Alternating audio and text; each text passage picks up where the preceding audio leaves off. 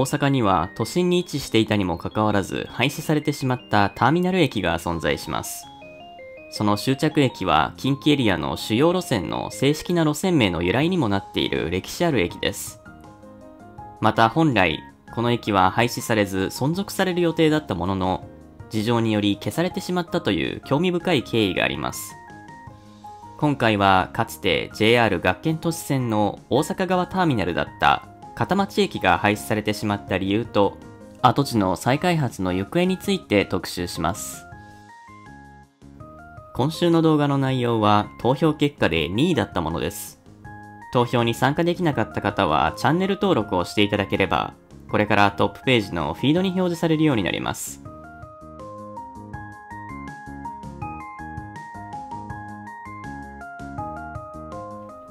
JR 学研都市線は京都府の木津駅から大阪の京橋駅を結び、その先 JR 東西線へと直通運転を行っている近畿エリアの主要な通勤・通学路線です。学研都市線という路線名は JR 化後に付けられた愛称で、正式な名称は片町線です。この片町線という名称はかつてこの路線の大阪側ターミナルが片町という駅だったことに由来します。片町駅は京橋駅から西に500メートルほど進んだ場所にあり、片町線の元となる路線を建設した何和鉄道という私鉄のターミナル駅として1895年に開業しました。以来100年以上にわたり終着駅として機能してきた片町駅でしたが、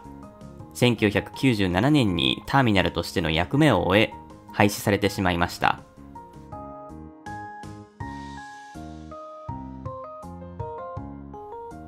100年以上の歴史を誇った片町駅は、一体なぜ廃止されてしまったのでしょうか？直接的な要因としては、1997年に JR 東西線が開業したことが挙げられますが、実は廃止される前から片町駅のターミナルとしての地位が低下していたこともありました。もともと片町には、片町線だけでなく、京阪本線も駅を設置しており、両線の乗り換え駅だった時代がありました。しかし、京阪の高架化に伴い、新しい京阪京橋駅の位置が片町寄りに移転されることに合わせて、1969年に京阪片町駅は廃止されました。京阪京橋駅の西側の出口として、片町口が設置されたのには、この廃止に伴う代替としての目的がありました。大阪環状線や京阪、地下鉄に便利に乗り換えられる京橋駅が主要駅としてすぐ近くで発展した一方、接続路線がなくなった片町駅の地位は低下しました。また、片町駅の駅周辺が繁華街として発展しなかったこともあり、廃止前年1996年の乗車人員は7565人と少なめでした。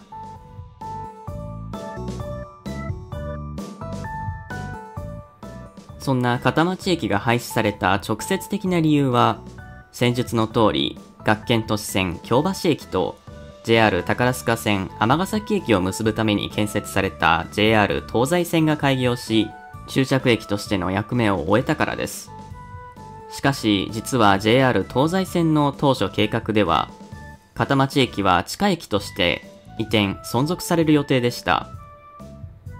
旧片町駅のすぐ近くに JR 東西線の大阪城北詰駅がありますが、もともとこの駅には片町の駅名が付けられる予定でした。結局、片町の駅名が消された理由は明かされていませんが、JR 東西線の新規開業区間が京橋尼崎間になっていることが関係していると言われています。大阪城北詰駅を片町駅としてしまうと、京橋と新しい片町駅の間の地下線は、新線ではなく既存路線の移設扱いとなり、新線建設の補助金を得られなくなるため、あえて別の駅名が付与されたという説があります。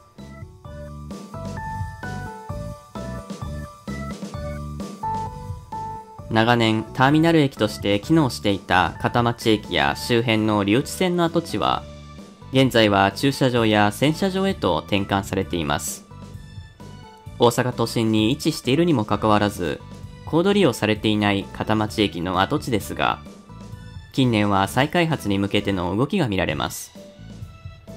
以前の動画でもご紹介している通り、京橋駅周辺は2017年に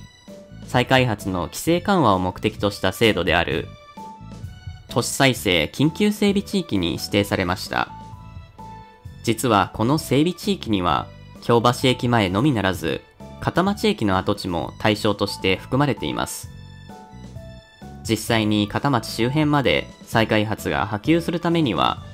まずは肝心の京橋駅周辺のプロジェクトを具体化する必要がありますが、将来的には一帯が大幅に生まれ変わる可能性があります。片町周辺は京橋駅と大阪ビジネスパークのちょうど中間地点にあり、大きなポテンシャルを秘めている地区です。駅は20年以上前に廃止されてしまいましたが、そのことによって生まれた土地は、この先10年、20年で変貌を遂げるかもしれません。ご視聴ありがとうございました。